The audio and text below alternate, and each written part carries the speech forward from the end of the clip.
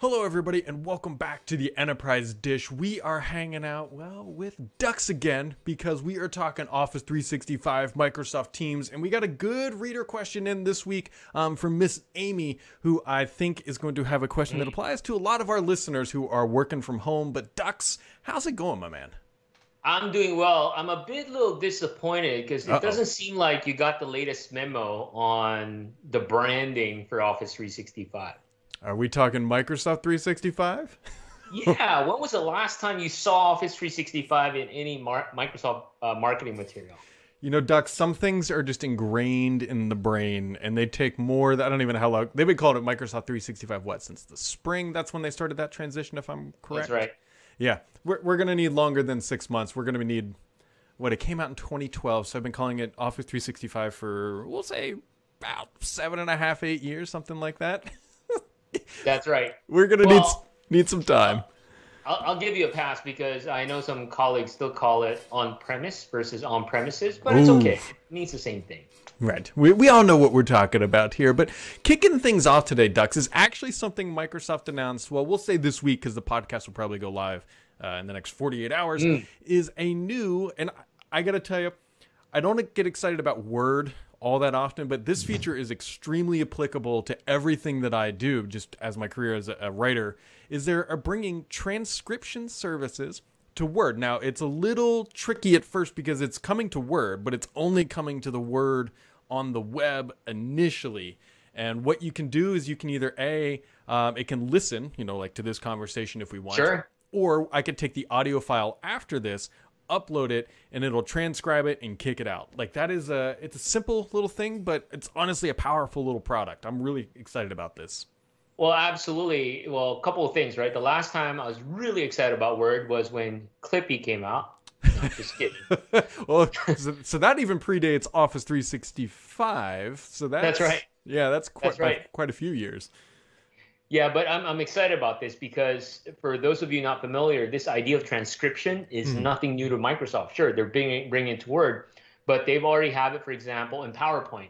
Today, when you do PowerPoint presentation, you can turn it on where in real time uh, you'll see closed captioning and they can also transcribe. You can pick a language you want. It's also in stream. So when you do Teams meetings and you turn on recording, you have the option to take that recording and have stream auto transcribe it, which also helps with the Mhm. search capability of of uh, Teams when you're searching recorded meetings. So this is good. Just like you, I'm excited about it. Yeah, the real th- there's a couple real obvious use cases here because not everybody candidly might use Stream. For example, students or teachers, what you can now do or myself honestly as a journalist is you can just record uh, an interview, uh, a lecture, or anything else like that. You take that audio file, open up Word, upload it. You know, it takes a few minutes, it processes, and then it kicks it all back out in a text and digestible form uh, that you can you know manipulate as needed, and that's that's honestly pretty cool. There are third party services that do that, but if you're paying for Microsoft 365, uh, then it's it's just included. You don't, it, there's no extra payments. It's nice. Well, the cool the cool thing too is there's option to pick different languages too. Because I know today in Teams live events, mm-hmm. when we're doing internal town hall, I can pick a language for the closed caption, and as a result, those closed caption would be transcribed in that language as well, even though I'm speaking a different language. Which is that is really an good. insanely powerful feature. Insanely powerful feature. Just it it speaks for, quite literally, Dux. It speaks for itself. And by the way, man, I love that T-shirt. oh, this shirt is I don't know if you know uh, uh, Jeff from uh, Microsoft. He's part of the Microsoft design team, Mhm. and this is his side hustle. He has all these really cool T-shirts. That is- Jeffrey uh, Jeffrey Cologne. I like it. I dig it. I might be looking into getting some of those. I actually, I was, you were, we're talking about translation stuff. I'm like, wait a minute, what is it? And the, and then I looked at your shirt. And I was like, man, Squirrel, squirrel, yeah, balloon. exactly. For those who can't see, because I know most of our listeners are actually audio, so it says it, it's creative is kind of like the, the play on words, but it's create T and it ends with V I, and then on the next line it's T E E. So it's like creative T, as in a T-shirt. So it's I like it. Creativity. There we go. Creativity. I love it. I love it. The other thing, Dux, too, and I, I, I don't get to talk about my wife too much, especially on this podcast, but I've got to give her a shout out for this. So, uh, Mr. Jeff Teeper uh, tweeted out a picture that we, we, Microsoft, is working on breakout rooms for teams. Huge. this this is huge. My my wife quite literally last week completely so they used to be a webex shop and they've moved over to teams and they held she's a director for a university at a pharmacy school Sure. and they held their complete new orientation onboarding inside of teams all inside of one teams she had all the channels like she set all this stuff up and completely orchestrated it and she said man you know it'd be great breakout rooms and then like 48 hours jeff tweets this out and i'm like ah like i got to run it to my wife and she was so happy No, but you, no, you should say, honey, I, I, I know. Oh, yeah, I called him. I called. That's brownie points right there. exactly exactly but this is going to be applicable to a million different scenarios um, i mean breakout rooms kind of speak for themselves interviewing you can do conferences you can do just sort of social engagements which is that's the curious scenario i'm curious if it's going to work because that could become almost the the virtual water cooler of like hey like here's where we go to hang out when people just want to chat at work type scenario That's right. In, in workshops, right? So you Oh, mentioned yeah, yeah. But think about like if you're in a workshop type of setting. Uh, in the past, I do a lot of workshops, Mm-hmm. and, and I have teams breaking out into into their own little group there and do drawings and what have you. So now you can mimic that. Well, this feature certainly is not new because Zoom has it, Mm-hmm. but having it in Teams, I think, would make a world of difference, especially in light of the recent out, outage Zoom uh, experience. Yeah, I mean it's a lot of a lot of corporations have redundant messaging environments for that same reason. Microsoft is not immune to it. Zoom is not immune to it. Google uh, Hangout or Meet, whatever they're calling it this week, is not immune to it. And you always got to have a backup solution. But um, I, my only ongoing sort of frustration, I guess, with Microsoft 365 is that it's great. We know this is coming, but it, it's going to arrive somewhere between now and an undetermined amount of time uh, for your tenant. But it will eventually show up. It will eventually show up. Absolutely. Uh, other things that I think are pertinent to our readers' Dux is that Teams is going to be ending support for IE11. Now, if you're still using IE11, I have some other questions for you. Uh, but if you're using it to work on effectively, think of all Microsoft 365 at this point, that is going to be going away. At least they're no longer actively supporting it. So that could be a hang up for some people. I, man, I don't remember the last time I used IE11. It reminds me back when I was still traveling, I would go through airports and they, I would see these these uh, you know departure arrival boards, and then they'll get blue screen of death because they're still Windows 95, right? So it's the same thing. Move along. Speaking of Windows 95, Dux turned 25 this week. 25. It, it Yeah. officially gets the lower insurance rate when it rents a car. Um, I hope nobody's rent, running Windows 95, but I'm sure it's running somewhere. But but we got to give that props because without Windows 95, we won't have that start button or the whole concept of Yeah. Windows 10 today, right? Yeah, it was a a monumental release. Is probably even underselling what Windows 95 was to the environment. I still, I still remember I was I was a kid, definitely, but installing that thing on like 50 floppy disks. I remember sitting mm. in my parents' basement. It's like put one in, you just wait, and then it kicks it out, and just one floppy at a time. But man, W- Wasn't it that launch where Bill Gates and Ballmer was dancing on stage? Is Oh, that yeah. what it is? That's where all the famous gifs come from.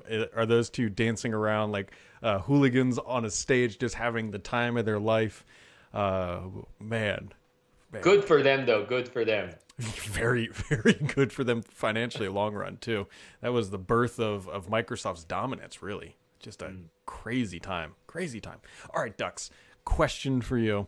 Very Yes. good question. This one comes from Amy, and she says, "We need new headsets for our work from home employees that work well with Teams." Does Dux or to Brad have any recommendations for what we should offer to our employees?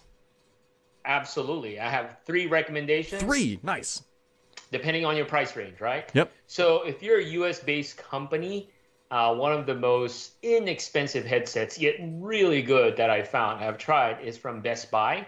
Uh, it's their own brand, Insignia. It's like 10 bucks. USB Really? headset, compatible with Teams, 10 bucks. It's great. I mean, it's not like you can listen to orchestra music there, Sure. but it gets the job done. Second level is if you can get a headset from Plantronics, uh, it ranges. And when I say headset from Plantronics, get it wired. Um, those wired ones are really good, ranges from 30 bucks to 60 bucks. Now, if you want to go wireless, what you need to get are the headsets that comes with a USB uh, wireless adapter too. And Yes. here's the reason why.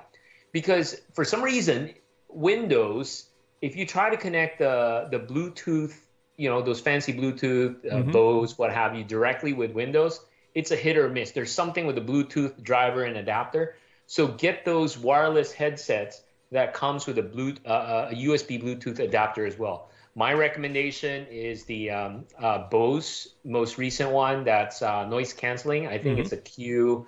I forgot what model it is, but whatever the latest one. In fact, they had an announcement with Microsoft Teams as well. Kind of pricey, but sounds really good. So those are the three that I highly recommend. Oh, I didn't mean, I didn't actually even think about this, but I quite literally just got these guys. Oh, the, is it? Oh, that's not the four. The No, these are the three. These are the three. So the reason why, so what Dux Dux is very astute and up to date on his Sony headphones. So these are my, Sony needs some branding people, Dux. Maybe you can float them if you want. These are the W creativity. the WH 1000 XMM XM threes. So that mouthful is what these guys are. Now these guys are great. These have, in my opinion, the best uh, noise canceling Yes. headphones on the market by far. I actually bought these and a pair of Surface headphones because these just dropped to 250. Only that that used to be 400 bucks. Right, that is why because the fours just came out, and so these are the last generation. And the biggest difference between the the uh, M3s and the M4s, the M4s support multiple Bluetooth devices, so you can have it paired to your phone or the PC, which is super handy because to, I completely agree with Dux's point that there is something finicky about Bluetooth connectivity in Windows, and it just like I will turn these things on and it'll say you are now connected, but it won't flip to the headphones. You got to manually go in there and do it. It's a pain in the butt. But these are fantastic. And so if you want to spend the dollars, I highly recommend these. They're like 249 on sale, but they will be going away. I'm assuming that once stock is completely gone, they're gone because the new uh, M4s So- are out. So What I suggest with that though, if you do want to use the wireless capability of that Sony M3s, yeah, just go to Amazon. There's like a ten dollar Bluetooth adapter you can Mhm. buy. So it, it, essentially, it'll take over, but the connection is much better. Or just use it wired. Yeah, and wired is also a great solution. I these things, if you are looking at the Surface headphones to get these, these are significantly better. Nothing, not knocking that the Surface headphones, but they're the same price now. And these things used to be like 100 to 150 dollars more, and so those are also good options. I'm a big personal fan, um, just coming from like that IT vantage point. Get everyone a wired headset, not not only because they're cheaper, but as a if, if you have to if you think about you're giving like these to 100 people or something i don't know if specifically amy's scenario. It's just one less thing you got to worry about Yeah. potentially. But if you're going for optimum convenience and comfort dux is totally right with the, the wired or wireless headsets are are definitely the way to go. So man dux you know, you know what else has come out since we've talked? Ignite Ignite's getting some big changes. What's what's on your agenda for Ignite? Microsoft is splitting it up. By the way, uh, Chris Capossela did not take my suggestion in calling it Ignite Duo. They just announced the Surface Duo, which is coming September 10th, and now they're splitting Ignite into two events, and they they should have called it Ignite Duo. But what's on your agenda? Anything you looking forward to? Are you participating this year? I know you're always heavily participated on in the on-premises version, but this is the uh, the cloud version of Ignite. This is the cloud edition, Yeah. right? So first and foremost, um, I think Microsoft has learned a lot from doing build virtually and inspire recently. They did it virtual. So Ignite will move forward in a similar format with Microsoft Inspire. Essentially, it's it's two days, 24 by 7, a marathon. So we will cover all the different time zones and regions around the world, and people can attend. Second, it's free, which is great. Um, similar to the Inspire model, they'll have uh, uh, essentially a host that will kick it off, and then the sessions, and then in between they'll have segments. But what's really cool is they'll have these uh, table talk session that was very successful at Inspire. It's it's quick, 30 minutes, get people in, have folks in the industry help facilitate on a specific topic.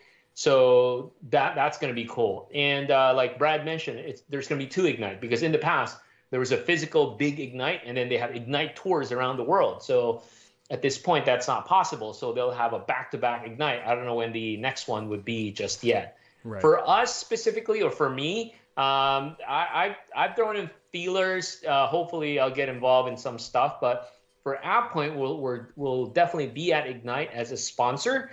And uh, I know traditionally we throw a really cool AvePoint Red mm. party. I know you're you're missing that, Brad. I am. I am very but, much missing that. But this is I've never we haven't told anybody yet. We are gonna have AvePoint Red.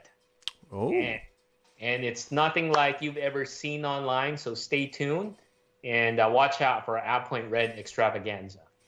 Yeah, the other big disappointment with not having Ignite, like in person, I should say, is the Dux. We don't get to go racing again. Like I know.